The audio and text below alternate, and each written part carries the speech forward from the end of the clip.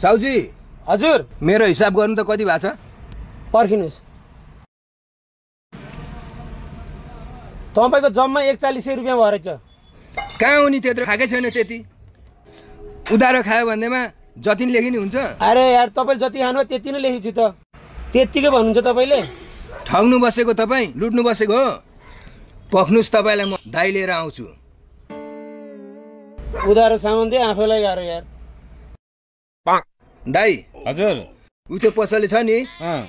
जम्मा दुईचोटि सामान लिएको। ढाई ढाई सयको अहिले त एकचालिस सय रुपियाँ भन्छ। त्यसले? अँ। ल जाम जाउँ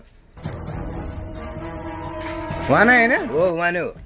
यो भाइको हिसाब कति हो? देखाउनु त हेरौँ। ल पर्खिनुहोस्। एकचालिस सय। कसरी भयो एकचालिस सय? दुई सय पचास दुई सय पचास एकचालिस सय।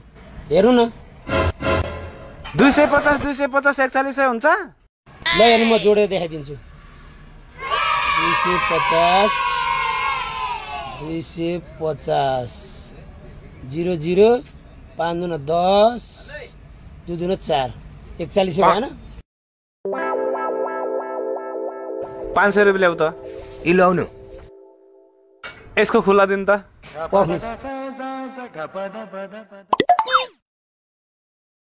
एक गतेको दुई सय पचास होइन? हजुर। अनि यो दुई गते दुई सय पचास होइन? हजुर। भयो नि। भयो भयो। मलाई energy drink Kurkure Choco Pie pack गरिदिनु न। पर्खिनुहोस्। कति भयो हिसाब पाँच सय दस। पाँच सय दस? हजुर।